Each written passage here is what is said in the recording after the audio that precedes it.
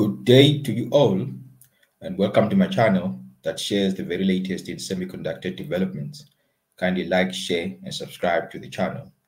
Let's dive right into today's topic that I've prepared for you guys.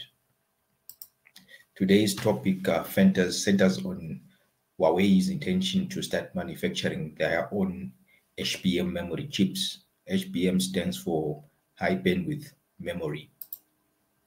Huawei the renowned Chinese tech company is reportedly making strides in setting up domestic production of high bandwidth memory chips.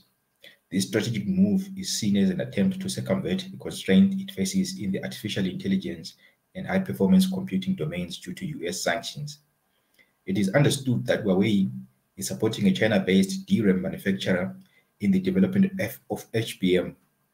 More specifically, Huawei is backing the production of HBM2 memory in China, which lags behind the current HBM3E Shinebolt. However, this is a significant step as it will help the company overcome the restrictions in the AI and HPC sectors imposed by the US sanctions. It is worth noting that high memory bandwidth is crucial for performance regardless of a company's computing power.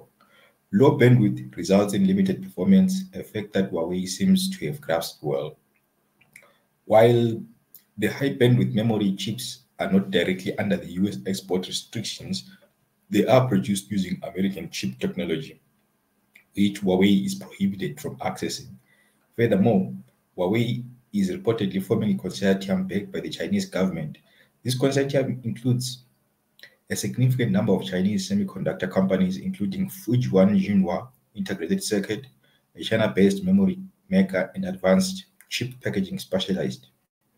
Huawei aims to start mass production of HBM2 memory chips by 2026, which will enhance the readiness of, a, of its Ascend series of processors for AI applications.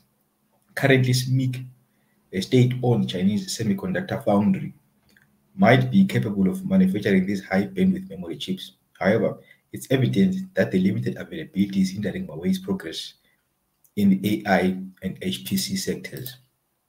I hope you found that read quite eye-opening.